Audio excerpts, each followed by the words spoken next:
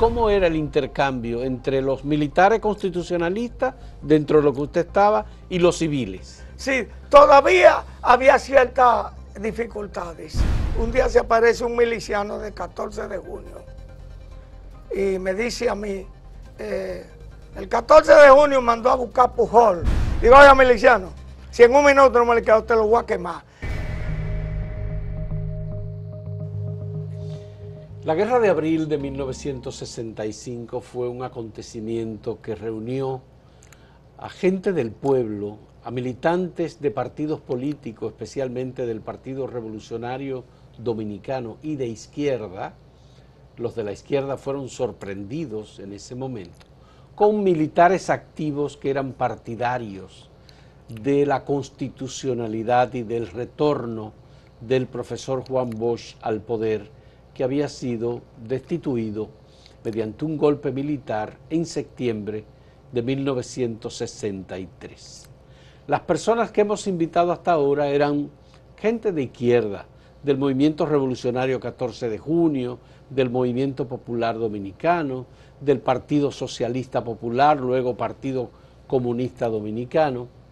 Y una de las personas que estaba como prácticamente a punto de graduarse de infantería, dentro de las Fuerzas Armadas Dominicanas fue José del Carmen Paulino, un oficial que se identificó con la constitucionalidad y con el retorno del profesor Juan Bosch.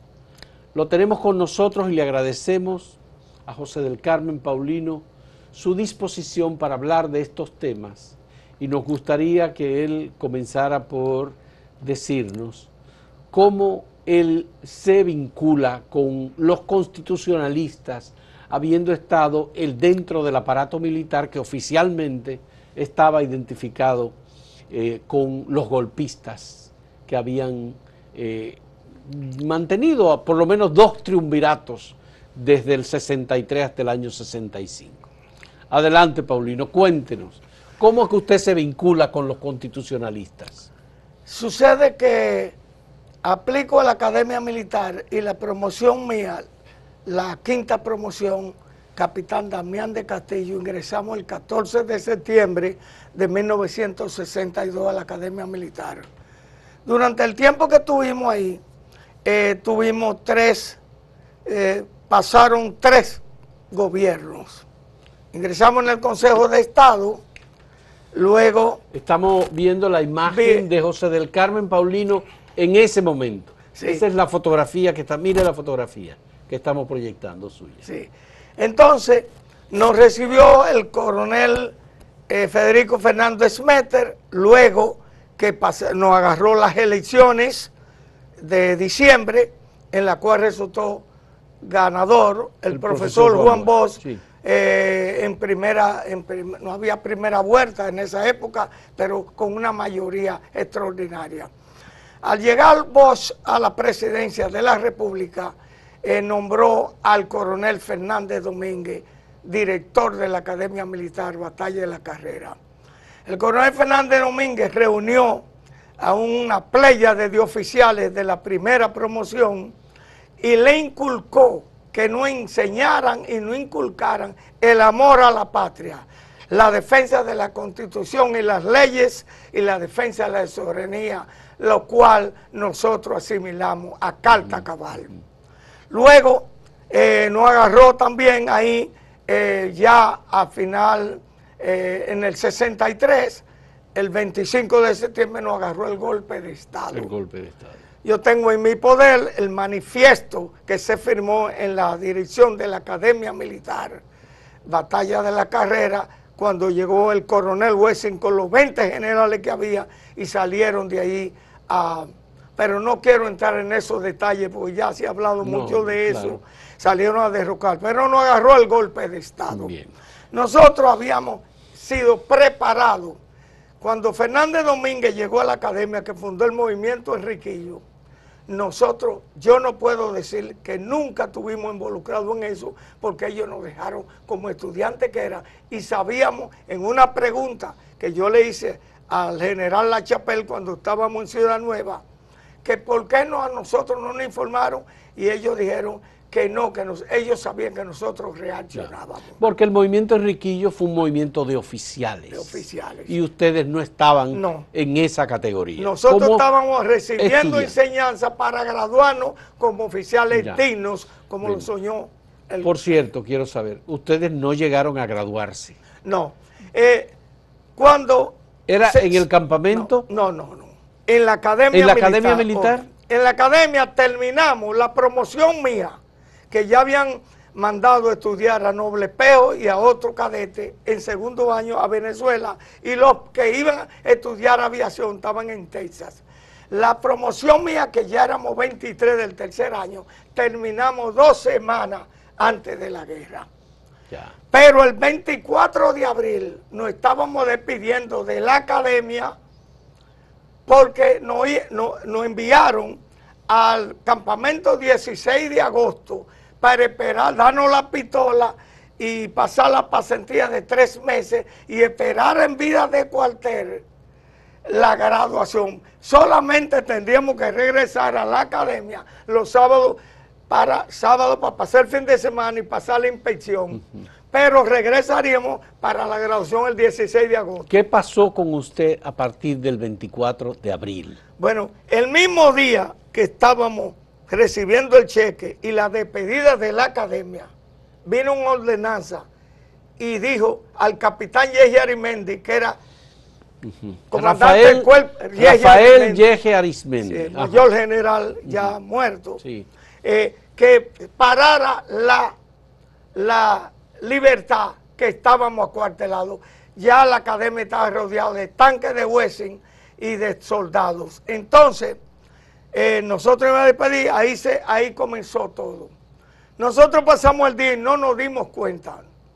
Nos quitaron las armas, trancaron el casino, no, no nos pasaban llamadas, no sabíamos nada y ya la revolución había comenzado ese día. Pero ustedes sabían que uno de los oficiales, Peña Taveras... No, no, no sabíamos nada. Ustedes no sabían Les voy a explicar cómo nos dimos cuenta. ¿Cómo se dieron cuenta? Nos quitaron eh, los guardias de Wessing hicieron los servicios y pidieron que todo el que tenga un radio lo entregara. Y mi hermana que me iba a regalar un radito que le costó un dólar, que en los servicios de 12 a 3 yo oía eh, mi musiquita, lo escondí debajo de la alfombra y dije, este es mi alma. A las 9 de la noche salí el sábado para detrás del casino y, y oí una cinta que a las 2 de la tarde el capitán La Chapelle había grabado, que decía así, cadete de la Academia Militar, te habla tu ex comandante del cuerpo cadete, el capitán Héctor Lachapel Díaz. Rompe con el monstruo de San Isidro y únete al movimiento reivindicador constitucionalista para el retorno de Juan Boa a la presidencia. Cuando oigo eso, llamé al brigadier mayor que era Montero Santana y le dije, Montero, oye lo que dice aquí. Vámonos a reunir los cadetes del tercer año, que ya somos prácticamente oficiales, con los oficiales, para que tomemos la determinación de unirnos al movimiento constitucional. Desde esta mañana se está peleando en la capital y han derrocado el gobierno de Don Río. Quedamos en eso y esperamos al otro día que abrieran el casino. Entonces comenzamos a trabajar con los cadetes de segundo año y primer año. El problema de nosotros es que había un hijo de Peri Pérez, tremendo oficial, el mayor Pérez Félix, ha dado una dama, era de segundo año. Y muchos eh, cadetes primer año, hijos de coroneles, y, eh, determinamos no hablar con ellos y nos lo llevamos todo. Y el que no quiere, nos lo llevamos a punta de pistola. Para ser eh, más corto, porque el tiempo en televisión es muy largo y quiero ser rápido. lo que hicimos fue esperar el otro día. Y como no aparecía el director de la academia, el coronel Pedro Medrano hubiera. Entonces lo que hicimos fue que le llamamos, vayan del mayor con Tim Curiel, que es su director, que el cuerpo cadete del tercer año, desea hablar con él. Cuando fuimos allá nos mandó pasar al salón de alto con el cuerpo de oficiales y le dijimos que ya todo el mundo nos habíamos enterado por la noticia en este radito, de la cinta que desde ayer estaba sonando por radio comercial, que decía así, y que nosotros estábamos del lado de la revolución constitucional y de lo contrario lo hacíamos preso. Esa fue, él nos dijo, un oficial que había estudiado en España de la primera promoción, tranquilo, estamos con usted. Entonces, ¿qué debemos hacer? Le dimos la idea. Vayan de Wessing, díganle que los comunistas pueden asaltar la academia y la base y que usted ya se dio cuenta de lo que estaba pasando y pídanle un pase para que no saca.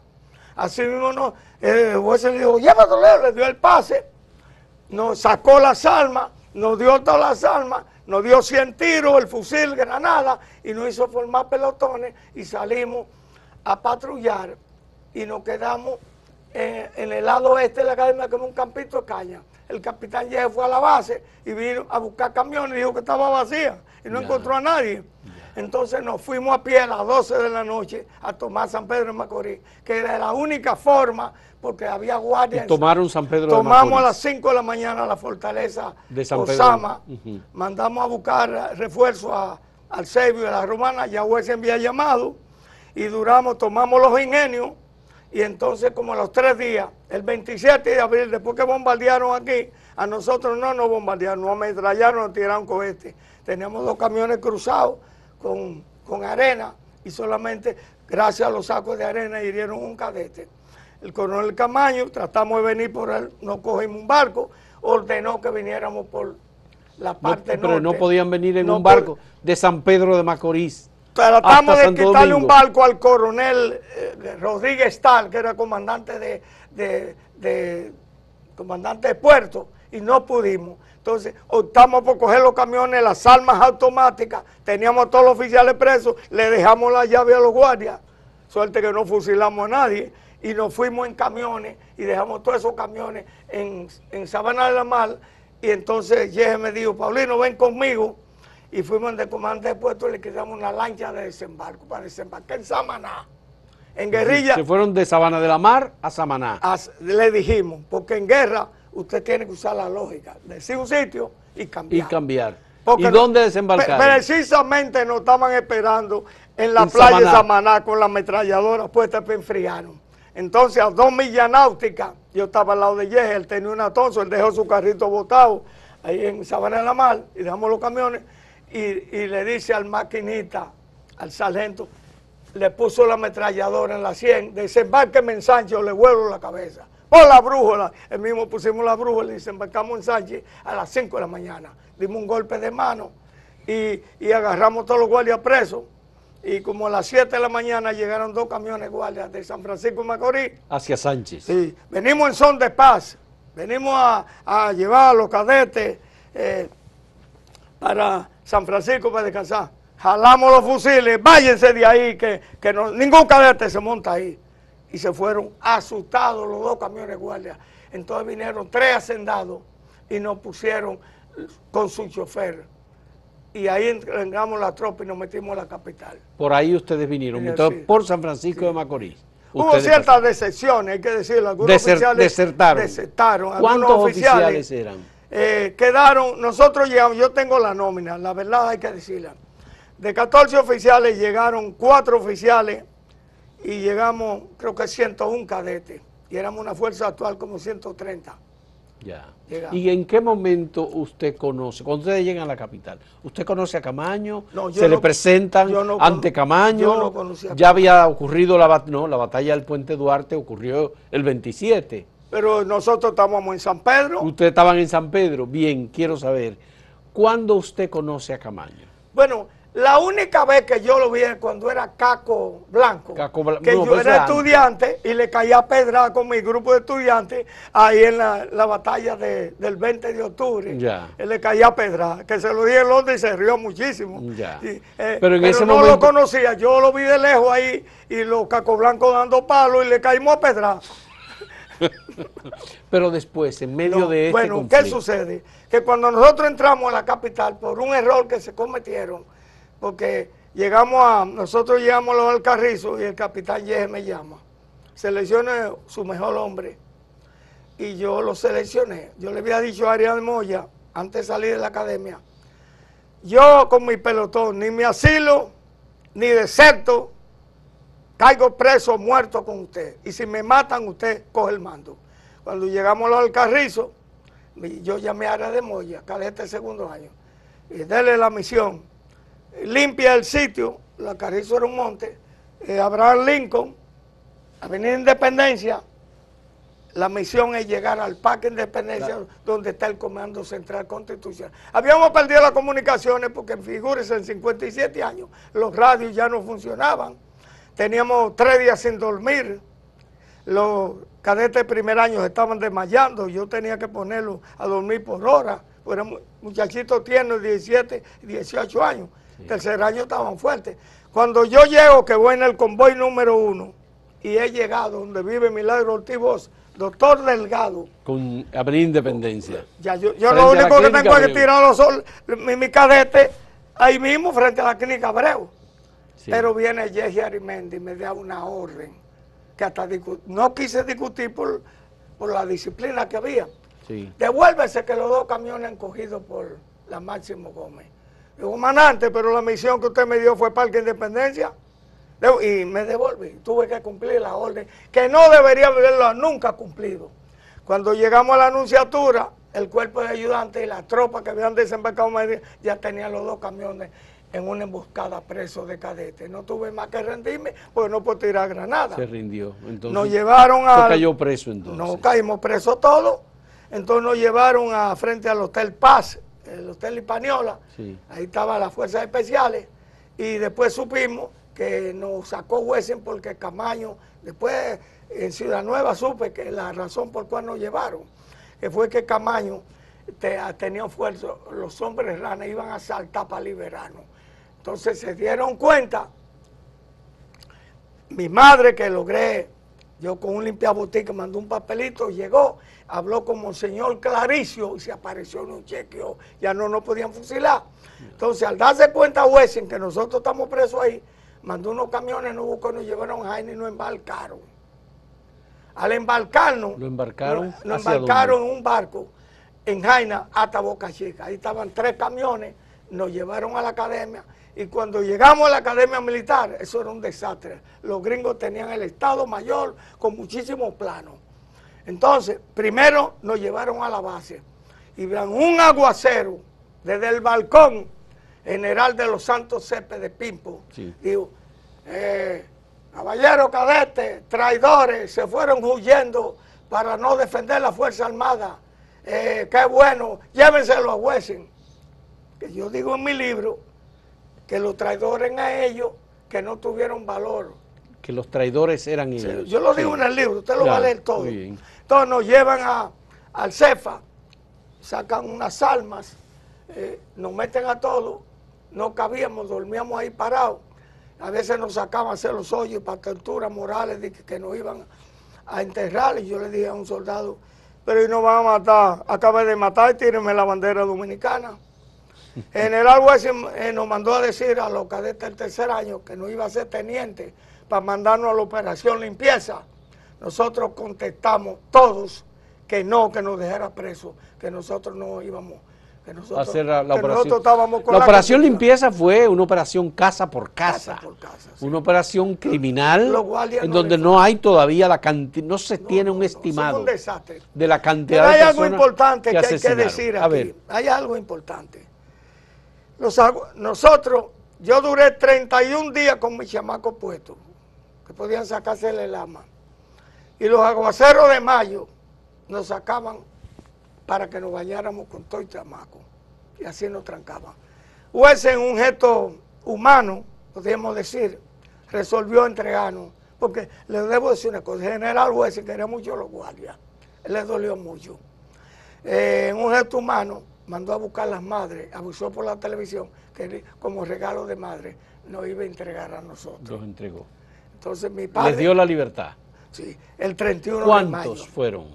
No todos los que estábamos presos. ¿Y cuántos eran los que estaban presos? Eh, yo pasé, yo tengo la lista. Quedábamos 99 cadetes y, y 104 oficiales. Los oficiales se los llevaron, eh, no, 14 eh, oficiales eran, algunos los que desertaron los traen presos, cuatro oficiales llegaron, los mandaron para la victoria, los oficiales. ¿En qué fecha se produjo la, libertad de ustedes? El 31 día de la madre que cayó domingo. 31 de mayo. Nos llevan a la academia y el capitán Valenzuela, el gachito, le decía, nos dio un conducto con instrucciones de Wessing que no nos dejaran ir a la ciudad nueva, que cuando abrieran la academia nos iban a reintegrar para que nos graduáramos. ¿Qué hizo usted? ¿Usted se fue dónde? Bueno, yo como mi padre se había ido para mi campo, con toda la familia. Sí. Llamé, nos dieron teléfono primera vez. Yo no sabía de novia ni de nada. Y llamé a mi tía Elena y ella me fue a buscar. Me fue a buscar, me trajo para el ensanche Osama y, y mandó a buscar a mi papá para que me llevara. Mi papá me llevó en pijama para el campo. Allá yo, con el mismo radito que todavía conservaba, oía la noticia. Tropas del coronel Camaño abren fuego contra la tropa interamericana acá. Y eso me daba a mí intranquilidad. Mamá, tú eres una mujer de mucho valor. Dios tenga en la gloria. Mamá, yo tengo que irme. No le echo la culpa a papá, yo me voy. Le dije a mi un compadre, llévame a San Pedro a sacar la cédula. Me llevó a sacar la cédula y entonces observé un amigo mío que traía cerdo a Lumina. Y le dije, Pablo, ¿cuándo usted va? Pasado mañana, yo me voy como peón. Yo tengo que irme para Ciudad Nueva. Agarré unos zapatos viejos, unos pantalones viejos, un sombrero de cana, le abrí hoyo, eh, me puse como un viejo, cogí ramos de jobobán, metí un pantalón, una camisa y unos zapatos en una funda y guárdamelo ahí adelante. Y yo, y cuando, como no había la autopista, sino para pasar para la academia, me puse más feo de la cuenta. Sí. Y, oh, oh, así como un campesino bruto. Y cuando miro la academia, se me salieron las lágrimas, como un niño. ¿Por qué? ¿Qué, qué vio usted? Lo primero que me dio una emoción era que yo quería ponerme mi traje blanco de graduación. De graduación, de oficial. Pero por encima de todo, me dije yo mismo, no importa, en la patria está primero y resolvimos responder al llamado de la patria. La congoja se pasó, crucé la academia y cuando llegamos a Lomina, me bañé, boté la ropa vieja, me la puse, le di un abrazo al amigo. Usted es un héroe, me voy. Cuando llego donde mi tía Elena, con 25 centavos con un carrito, ¿qué tú haces aquí? Son tía. Y los muchachos, dice, están por ahí. ¿Qué tú haces? Vine a pelarme. Creo que ya no se tragó eso. Adiós, carajo, y allá no hay barbero. Yo le dije a José que no te dejara ver. Esperé a los muchachos, que eran del 14 de junio, que dicho sea de paso, 15 días antes de la guerra, yo me aparecí con ese traje que usted vio ahí, y ellos iban a regalar unos panfletos subversivos contra Don Henry. Del 14 de junio. y yo le dije, démelo a mí. No, tú no puedes ir. Fui. Cuando llegué al ensanche Luperón, que habían como 15 jóvenes, le digo, que siempre me decían a mí, ¿cuándo es que van a derrocar? ¿Y este guardia qué hace aquí? Y este no es un guardia cualquiera. El sabrulleo. Venga, repártalo. Entonces, David, que me conocía, no dormí esa noche. Digo, en tu carrito, Gilma, llévame a la zona de mi interesada me llevó a la Juana Saltitopa, dejé que me reeditaran los gringos y cuando pasé, no pasaron 10 metros cuando le dije, ¡Gojón Yankee! ¡Viva la patria! ¡Viva Quiqueya! Y salí corriendo al Parque Villa. Ahí pregunté por el cadete Herrera Morla, que, que no sabía de él desde Sánchez, que le quitó un carro a un campesino con el hijo de Coronel Vitiello y otro, salieron para acá se asilaron en la embajada de, El Salvador para ver cómo estaba la cosa. Y cuando saliendo, el hijo coronel fue para su casa y él y los otros se fueron. Y Herrera Mola era el jefe de inteligencia del Parque Villa. Entonces apareció, digo, compadre, lléveme al edificio Copelo. Al edificio Copelo. Ahí es que conozco a Camayo. Vamos a hablar de eso en un momento. Yo quiero que usted me hable de su interacción, su diálogo con Camaño. Ah, bien. Eh, pero vamos a hacer una pausa en este momento con, en este diálogo con José del Carmen Paulino. Volvemos en un ratito. Ahora fuera de... Podemos...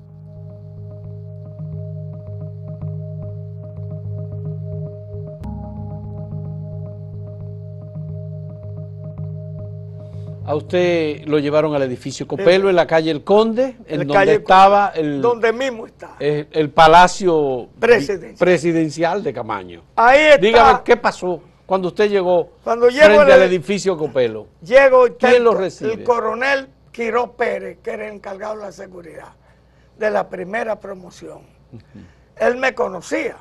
Él se graduó en San Gil también cuando Rafi mandó seis cadetes en el 56. Le doy un saludo militar y le digo, quiero servir donde el presidente Camaño, eh, capitán Quiró y Paulino. eh, ¿Dónde estaba tú? Digo, estaba preso y me soltaron. Teniente, llévelo. Me pasaron de una vez. Cuando veo al coronel Camaño por primera vez, le doy un taconazo. ¡Pah! Respetuosamente, señor. Se presenta ante usted el cadete de tercer año, brigadier José del Carmen Paulino Polanco. Estaba preso. Ordene y mande. Dice, teniente, lo felicito, qué bien. Lléveselo a Montearache, que el uniforme, y lo meta al cuerpo de hombre rana. Por eso tengo la gorra que dice comando de hombre rana. Ya. Yo no desde soy entonces, rana. Entonces, usted no es hombre rana. no soy rana. Ya. Y tenía la posibilidad, Camaño, de ordenarle a Monterache Claro. que incorporara a los hombres rana a un militar. Bueno, Camaño era el presidente de la República, comandante jefe de la Fuerza Armada, y Montes Arache era el ministro de las Fuerzas Armadas. Ya. Entonces me uniforman con un chamaco, me dan una Lanchester, después tengo un Smith Wesson, y me dan la misión de hacer oficial del día, instructor en la Academia 24, patrullar en un jeep con guardia.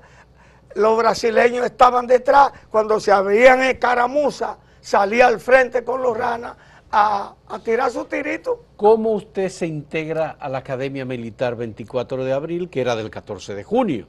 Era de la revolución, pero de todos modos, quienes iban ahí eran civiles a entrenarse No, no. y gente del 14 de junio. El director era Homero Hernández, Homero Hernández. pero el subdirector era el comandante Novoa Garner. Novoa Garner. que después fue comandante del batallón Fernández Domínguez. Y como militar, habíamos que entrenar, se utilizaban cadetes y segundos tenientes para darle instrucciones militares o civiles. ¿Usted fue instructor en la Academia 24 Claro, de abril? yo le daba instrucciones. ¿A quiénes usted recuerda como estudiantes suyos ahí en la Academia 24 de Bueno, abril? yo me encontré ahí con Carmen Mazara Carmen Mazara. y una muchacha llamada Elkis, otra Altagracita que todavía está por ahí, y algunos que estaban de 57 años, les damos instrucciones y, y más nada. eh, ¿Sobre qué usted instruía a esos civiles? Bueno, arriba, abajo, eh, tirarse, buscó un abrigo, táctica de la que había aprendido en la academia. ¿Y cómo era el intercambio entre los militares constitucionalistas, dentro de lo que usted estaba, y los civiles? Sí, todavía había ciertas dificultades. Porque estando yo de oficial del día, un día se aparece un miliciano de 14 de junio y me dice a mí, eh, el 14 de junio mandó a buscar Pujol. ¿Conoce Pujol que anda por ahí? Pujol eh, había tenido un altercado en la cual perdió la vida un tanquita, no sé si usted ha sabido de eso, en la independencia.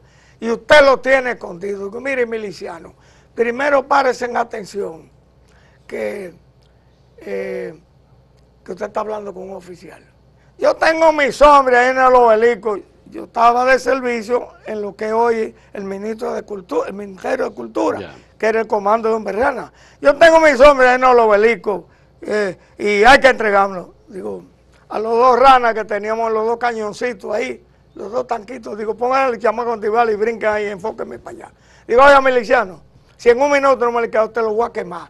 Por eso es que nosotros no queremos los guardias ni de aquel lado ni de aquel lado. Digo, ¿qué es lo que usted está hablando? Y que iniciamos las revoluciones fuimos los guardias, con los militares constitucionalistas. Si no te ven un minuto, te lo voy a, te lo voy a fulminar todo. Y tuvo que irse. Esa fue una de, las- de- de las cosas que no había entre encaje. Sin embargo, yo, eh, mi tío me llevó a vivir hacía mi servicio en Comedrana porque dormíamos en el suelo a la José Gabriel García cerca de Fafa Tavera y yo me llevaba a él porque lo había conocido en la célula del 14 de junio y con Bacho, yo conocía a Bacho También. y también a todos. como oficial. Sí. Bueno, eh, pero ustedes, ¿cómo se llevaban como oficiales formales militares con gente que eran comandantes de la revolución? No Montearache, pero gente como Fafa Tavera, que era un dirigente del 14 de junio. Bueno, o con civiles, Juan Miguel Román. No, lo que pasa es que los nuevos oficiales que no, que no ingresamos a la academia después de la muerte de Trujillo, ingresamos con otro tipo de mentalidad, ya en el Consejo de Estado. Algunos veníamos, éramos de muchos ideales, que habíamos sido de la célula del 14 de junio, otro del PRD, y en el Consejo de Estado se enganchaba sin miramiento a eso. Entonces, no teníamos esa mente recalcitrante, podíamos encajar bien. Y el coronel Camaño logró, y aprendió mucho, a compaginar con el 14 de junio. Fíjese que el 14 de junio participó en la toma de la fortaleza Oxama. Claro. Ahora, el coronel era tan humano que bajó una línea que no se maltratara a ningún preso. Y la prueba está que los policías caco blancos que fueron presos no se maltrataron y se llevaron a la escuela Salomé Ureña. Y cuando ustedes oían la propaganda que se hacía de que eran comunistas, ¿cómo reaccionaban los oficiales frente a esos comentarios y denuncias? De, Estados Unidos decía que eran los comunistas los que estaban dirigiendo ese proceso. Radio San Isidro decía que nosotros no desayunábamos con un niño, que violábamos monjas, que se saqueaban. No, al coronel Camaño los empresarios le llevaron las llaves de su negocio, porque era un hombre honesto, y él bajó una línea, ahí no se podía robar. Y nosotros veíamos los, los, los morteros rompían la vitrina, y los zapatos que eran fuera los tiramos para adentro y nosotros rotos y no nos poníamos uno. Ahí no se violó ni se robó ni nada, hasta donde yo sé. Bueno, el caso de Oscar Santana fue un caso emblemático y muy doloroso, porque Oscar Santana salió a eh, identificar o a contener a unos ladrones y los mataron. Sí, siempre se infiltraban eh, ladrones del otro lado para difamar la revolución pero eh, nada, nosotros nos maltratamos, nosotros agarramos espías y lo primero que yo le decía a mis soldados, eh, al detenido se le da cama, agua y comida y se interroga, pero su, hay que preservarle su... Paulino, José del Carmen, ¿usted recuerda algún fusilamiento que se produjera del lado de los constitucionalistas? No, yo no supe de fusilar, yo no se fusiló a nadie, que yo sepa, yo no lo vi ni recuerdo ni nada. Eso fue una revolución muy romántica. Eso es lo que yo veo, y democrática. Coronel Camaño, cuando comenzaron las negociaciones, nos reunía en el TICINE Leonor la Independencia para informarnos todo. Él no hacía nada de contigo, lo decía. El día que se iba a firmar el acto institucional, yo entré con García Godoy. ¿Y por qué usted entró con Héctor García Godoy? Porque nosotros, él, él le permitió la, la comisión ADO que dejara el carro en la, en la entró, no, no podían entrar por el conde peatonal, que era. no, no era peatonal, pero no podían entrar, por razones de seguridad. Algunos oficiales lo seguimos vigilando y yo aproveché y entré y ahí estaba el Estado Mayor completo del coronel Camaño.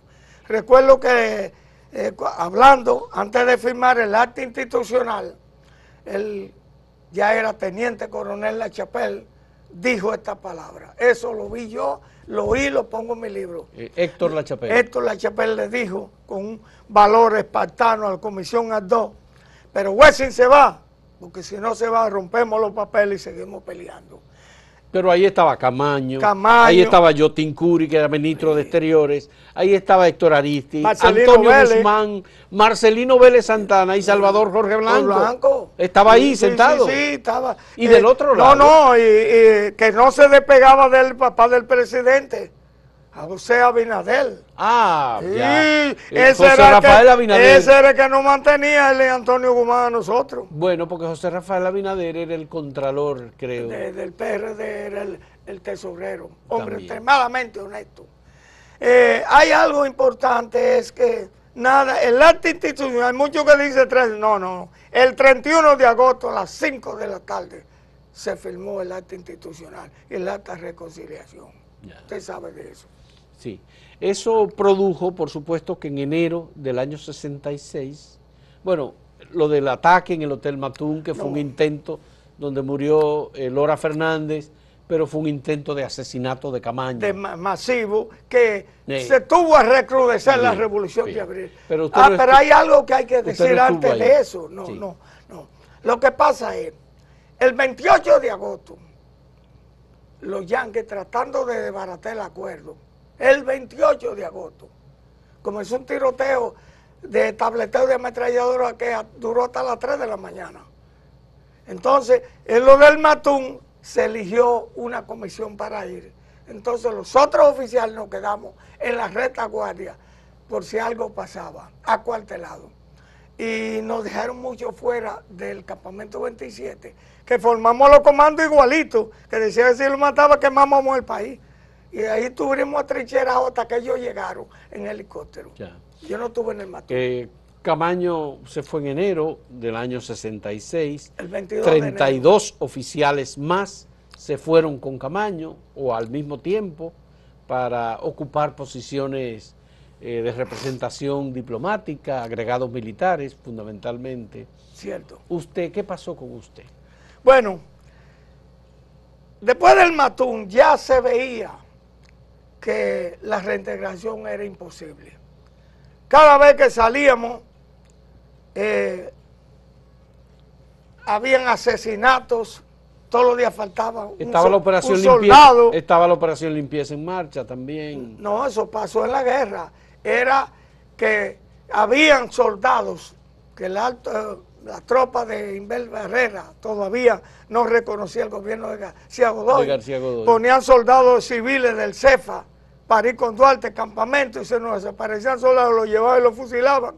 Y apareció en un eh, Arias Collado que se, se le pinchó una goma en el puente Duarte, lo secuestraron, duramos tres días eh, buscándolo, lo encontramos en los arrabales de los mameyes asesinados.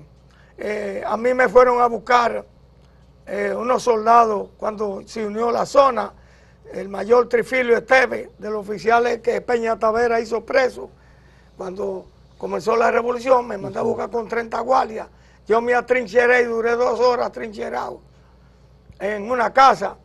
Y entonces eh, me recató, tuve que entregarme a los yanquis y me dejaron ir para mi casa. Y entonces el coronel La Chapelle y el coronel Núñez Noguera me recataron y vinieron a buscarme y me llevaron a dormir para su casa. Y el otro día fuimos a la misa de Aria Collado. Si no lo hago así, yo iba a ser el segundo que me iban a hacer. Bien, pero a lo que me refiero es que usted estuvo en Europa usted fue de los oficiales que mandó a buscar Francis Camaño, estando él en Londres. Exacto. Entonces, se procedió, cuando los oficiales salen a ocupar cargos militares, la OEA se encargó de buscar becas para los cadetes. Para los cadetes. A los ranas, según supe, lo mandaron, se lo llevaron para Texas a hacer cursos técnicos.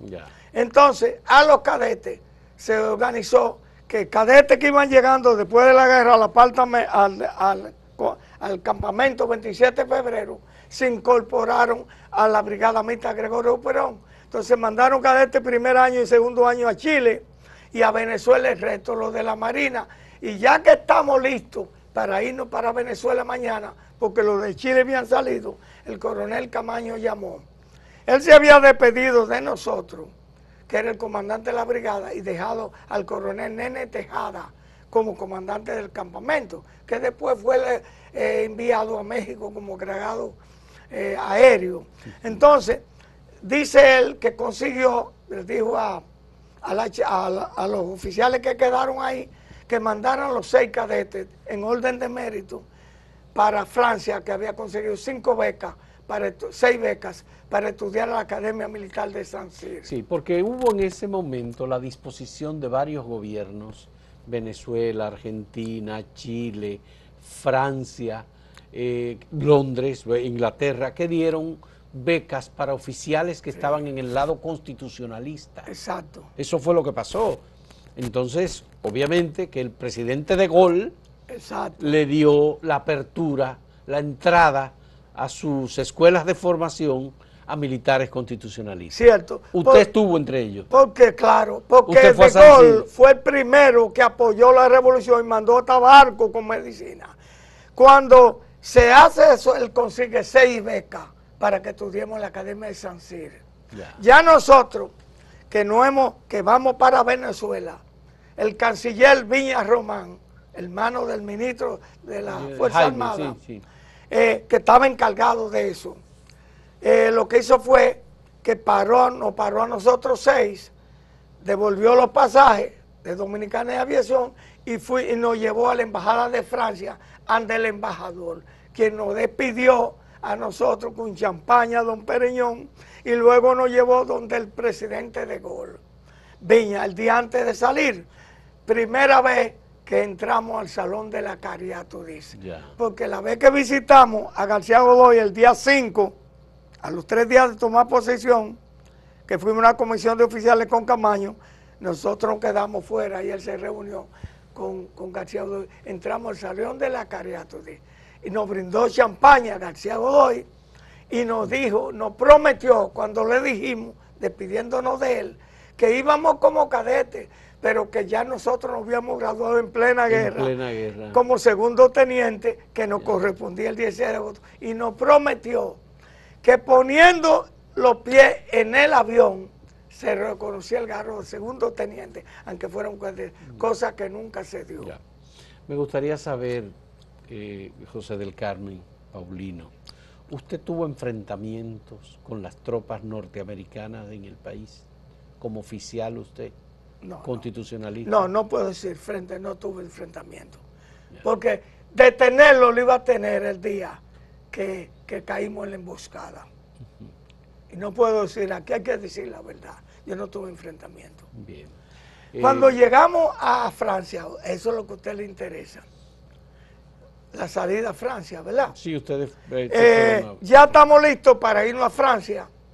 Eh, la presidencia mandó a, un teniente en una guaguita con seis guardias, dos G americanos manejados por un teniente y seis gringos, uno adelante y otro, escortándonos a nosotros, porque decía, había noticias que la tropa de West dice que no iba con turno regio en la mano a los cadetes, que íbamos para afuera y había que protegernos. Cuando llegamos a, al, al, aeropuerto. al aeropuerto Cabo Caucedo, eh, nos quedamos ahí, el canciller Viña fue y en un minuto selló los pasajes y los soldados gringos redodeando, nos dieron un minuto para hablar con los periodistas. Ahí es que Guillermo Gómez tomó esa fotografía. Los gringos, los seis, que se iban que íbamos para, Francia. Eso estaba arreglado. Dominicana, nos buscaron tres, meses de visa americana para entrar a Puerto Rico, tomó otro avión a Puerto Prite, Guadalupe, donde tomábamos a Francia. Cuando llegamos ahí, nos toman a Guillermito Gómez, que no sabía, esa foto me la mandaron, eh, nos dan un minuto. Los gringos, con su fusil en cuelgama, nuestras maletas no pasaron por la correa, se la, cargaron ellos y la metieron en el avión. Cuando llegamos al avión de Dominicana estaba rodeado de tropas americanas, de soldados americanos. Cuando subo la escalinata del avión, le digo a mi compadre con lágrimas en los ojos, que mamá me mandó la foto diciéndole al pueblo, prepárese que he deportado es un exilio largo. Entramos ahí, llegamos a Puerto Rico, de Puerto Rico fuimos a Puerto Aprite, había una comisión de oficiales franceses esperándonos, nos llevaron al Gran Hotel y al otro día nos salimos para Francia. Cuando llegamos a París, el 21, salimos el 20, con un frío que mataba madre, quise devolverme para el avión y entonces ahí estaba el coronel Álvaro Guín y el mayor Píntaro Peña y el el ministro secretario de, ¿cómo era? Embajador ante el UNESCO, Héctor, Ariste recibiéndolo. Nos llevaron a la embajada, se comunicaron con el Ministerio de la Fuerza Armada Francesa y dijeron que no era en la Sorbona que íbamos a estudiar, que era en Besançon, cerca de Suiza, en una universidad. Y por eso nos asignado a un regimiento militar francés, que el coronel se encargó de inscribirnos en la Universidad de Besançon. El coronel el eh, coronel Francis. No, el coronel francés, Y nos puso un traductor, un sargento que está en España, y se encargaba de buscar la nota todos los viernes para rendir informe. Muy bien. Vamos a hacer una última pausa en este diálogo con José del Carmen Paulino Polanco, oficial de infantería que fue miembro del grupo de los militares constitucionalistas en 1965. Ahora que viene.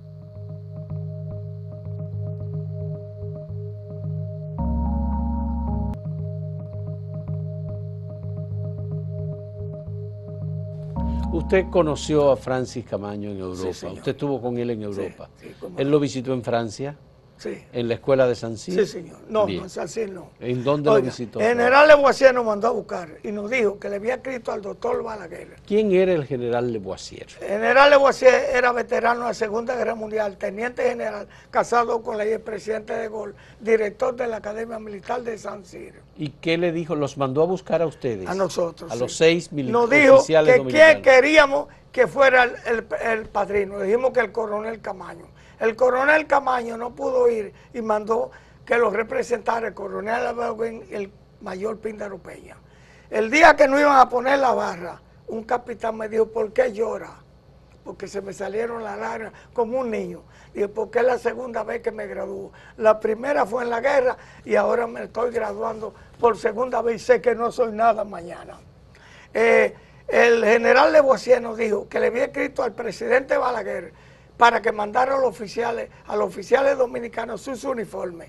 Y el presidente Balaguer contestó que no nos merecíamos que, usáramos el uniforme dominicano porque éramos comunistas.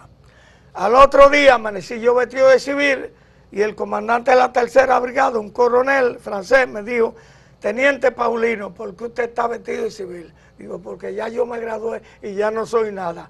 Póngase aunque sea el chamaco la barra que para nosotros usted es teniente. Eh, tuvimos que mandar todos los ajuares para la Academia de Aplicación, donde ingresábamos en septiembre al curso del primer teniente. El coronel Camaño vino a París a recibirnos. Ahí es que entramos ahora. Ahí viene a recibirnos a nosotros, ya que nos había comprado ropa, nos había despedido, nos había dicho que íbamos a graduarnos, que estábamos probados, que íbamos a sacar las mejores notas. Ustedes están probados. Entonces llegamos ahí. Cuando llegamos, eh, nos recibe y nos lleva a los Bocos de Buloña a un almuerzo por todo lo alto con champaña, Don Periñón. En medio de la campaña, eh, el coronel La Chapelle, que era capitán, agregado militar en Bélgica, en Bélgica, sí. Eh, se para y dice, el coronel Camaño, primeramente, Queremos festejarlo y felicitarlo por sus buenas notas. Tenemos los informes por su graduación. En segundo, el coronel Camaño quiere saber hasta qué punto están ustedes dispuestos a seguirse sacrificando por la revolución dominicana. Ahí nos dimos cuenta que eso seguía. Eh, ahí procedió él. ¿Dónde usted se va a pasar las vacaciones? En España usted se iba bien, 300 dólares que usted tiene eh, la novia ya. Y usted, Rosario, en París, ah, tú sí estás porque esto sí es caro, 300 dólares. Iván, no, Iván hizo el curso para paracaidista, él no va a ser, él se va, porque era hijo de Nano Grullón. Entonces, y usted, Paulino, a mí no me dé, yo me voy con usted. Y Herrera Mola, no, me voy con usted. Ah, es que son mellizos, no es que éramos recluticas, tomábamos trago juntos. Dice, pero esta noche, no, yo creo que usted fue cadete, ¿verdad? Bueno, usted conoció a Camaño en esa Ahí, en ese ambiente. en ese ambiente fraternal entre oficiales. Exacto. Camaño era un hombre que confiaba y protegía a sus subalternos, a los oficiales. Camaño era un militar, no un político. Cuando usted se enteró de la guerrilla de Camaño, no, entonces ¿qué usted pensó? No, no, debe este pedacito ya. Nosotros, él se fue nosotros la semana nos fuimos, comenzamos a entrenarnos en Inglaterra con él, ¿Usted con cree, un programa. ¿Usted cree que hay alguna diferencia entre el camaño del 65 y el camaño de Caracoles en el 73? Claro que la hay. Pero nosotros comenzamos a entrenarnos en Inglaterra, siete. Chibú, BG, Capitán Guerrubrí, Teniente Morla, el Camaño y yo íbamos al aeropuerto Hidro y de vuelta y él llenaba la mochila de piedra y le dije, ¿por qué usted usa eso? Porque la voy a necesitar. Él dio un viaje a España y me dice a mí, eh, cuando viene nos reúne amanecíamos estudiando las lomas y los ríos. Y yo le llamo, le tome, está en guerrilla. Entonces, Camaño me dice a mí, Paulino, eh, hay que ponerse duro. El profesor vos está durísimo. Me dijo que tiró la tesis de dictadura con apoyo popular. Yo le dije, eso es teoría, hay que coger primero el poder. En una reunión le dije, eh, comandante, si yo, si yo fuera usted, renunciara del cargo de agregado militar y pidiera su retiro de las Fuerzas Armadas. Lo tengo en mi libro y se pusiera a estudiar, inscribirse en el PRD y cuando las condiciones lo ameriten, entramos por las Américas, que lo más que podemos, caer preso. Y de la cárcel sale usted presidente. Pero hay un libro de Hanley Herman sobre la biografía de Camaño, en donde eh, Camaño pide que a usted se le contacte y se le permita. No, pero que se nos acabó el tiempo. Lo que quiero saber es, es decir, parece ser que usted tenía contacto con el movimiento ya le voy A terminar. Oh, no, no, óigame, óigame. Cuando eso, me dice, si usted tiene miedo, búsquese un gato prieto. Digo, el miedo no lo conozco. Estuve al lado de Manolo Tavares. Fernando, me estoy aquí porque me gusta estar al lado del hombre, del hombre. Entonces, del hombre valor. Eh, ayúdeme a arreglar la maleta. Lo vi por última vez a Camaño. El 15 de septiembre en su habitación, porque duramos dos meses juntos. Trompeábamos, eh, hacíamos los oficios y, lo vi. Le ayudé a arreglar la maleta, mantén contacto conmigo. Le dije, saca el teniente Herrera Mola, Garrido y a mí. Porque él nunca nos habló de Cuba.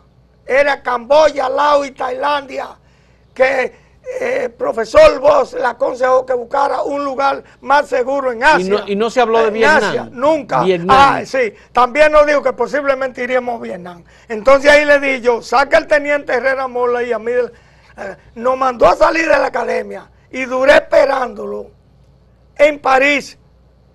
Lo llamamos y habló con Píndaro. Yo era el jefe del grupito. Guárdamelo ahí que lo paso a recogerme. De Pablino, te paso a buscar el día 9 el 9 de noviembre del 67 por París.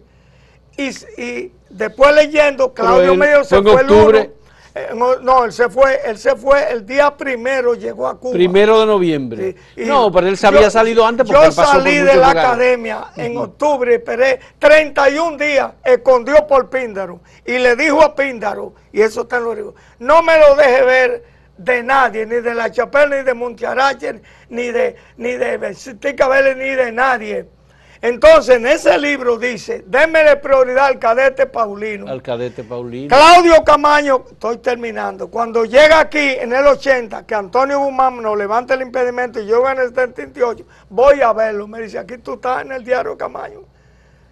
No llegó un militar constitucionalista y a Claudio hubo que llamar, ir, mandarlo a buscar que era policía Chile.